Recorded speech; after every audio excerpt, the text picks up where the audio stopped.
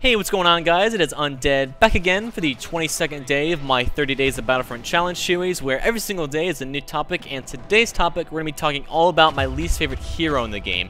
And this is one of the occasions where I'm glad this series is at the end of Battlefront 2015's life cycle, because we have seven heroes to choose from, instead of three that those that did the series when the game first started, you know, they only had three to choose from. Now we have seven, we have a lot of really awesome and iconic heroes to choose from nowadays, uh, but without the further ado, let's go ahead and jump right into it. And my second least favorite hero to play as in the game has definitely got to go to Leia. Um, this has nothing to do against her character overall, but rather her kit in the game. Um, compared to people like Chewbacca and Luke, and even Han in some cases, um, Leia's kit especially especially in, in regular game modes like Walker or Supremacy, is extremely underwhelming. Um, and then the problem that Leia has is she get if she gets swarmed by either a vehicle like an ATST, or if she gets swarmed by multiple stormtroopers all at once, you know, she's pretty much caught out in the open. She has no really real, you know, she has no real means to escape that situation at all. So she's pretty much going to take either a ton of damage or she's gonna, just going to flat out die if it's the case where you're caught out, in the, out in the open and an ATST is chasing you down. You don't really have an effective way to deal with that. Um, and that's kind of the reason why I don't really like to play her as much. Um, in Heroes vs. Villains, it's a little bit better, actually, because in Heroes vs. Villains, she's actually really important. Because in Heroes vs. Villains, she's the only hero that can actually drop health. And in that case, it's extremely useful. And I actually like playing her in Heroes vs. Villains but her kit is all all the way around really useful and very, you know, has a very good utility to it. But in Walker Assault, like I said, you have the Trooper Bane, which is good for sniping enemies at far ranges. You have the Enhanced Squad Shield, which is essentially just a regular squad shield, just with a little bit more health uh, and more durability. And then you have the Strategic Resources ability, which just spawns a power-up for regular infantry, which, in, in my opinion, is a complete throwaway of an ability. I've never seen it or I've never had an occurrence where that ability has come in handy or saved my life or anything. Um, you know, I can see it being you know crazy useful in those 1% situations where you drop it down, there's someone on you, a random ally comes up, grabs the power up, it turns out to be a smart rocket, and he uses a smart rocket to defend you. Situations like that, but honestly, that happens so little that it's just not even really considered, you know, it's not even negligible essentially. You can't even really mention it. So for that reason, um, she's definitely my second least favorite hero to play.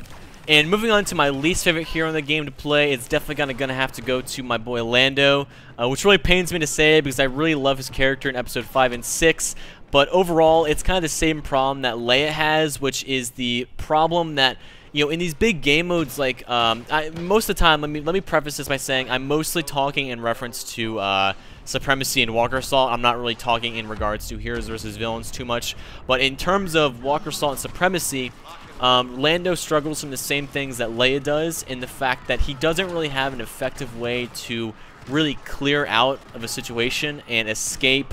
He, he can't really either escape from a situation or he can't fight his way out of a situation, essentially. You know, Chewbacca has his insane bowcaster ability that can just rip through Imperials. He's slow, but he can rip through all these Imperials just because of how much damage he puts out.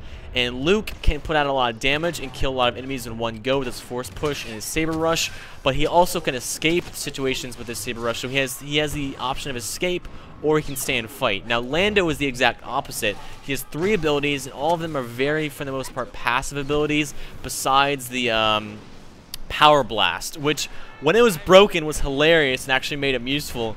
But now that the bug has been fixed, uh, his Power Blast is pretty underwhelming. It's like a very kind of underwhelming version of Han's Lucky Shot.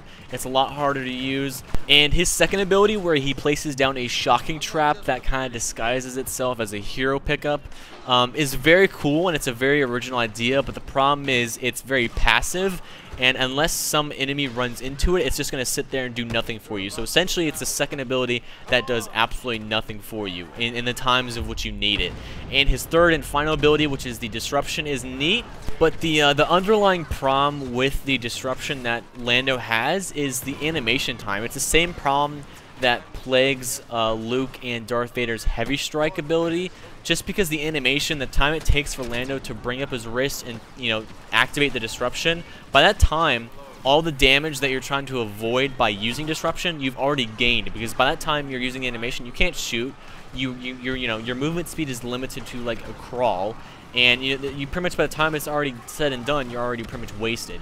Um, so that, that's kind of the reason why uh, I believe Lando is my least favorite hero to play in the game. But anyway, guys, that about does it for today's video. That is day 22 down with. We are now over two-thirds of the way through this series. and We are closing up on the launch of Battlefront 2, so I'm incredibly excited. But on that note, I'd love to hear your thoughts and feedbacks on the matter. What is your least favorite hero to play in the entire game? I'd love to know. I hope you all enjoyed the video, and as always, guys, I'll see you in the next one. Catch you later.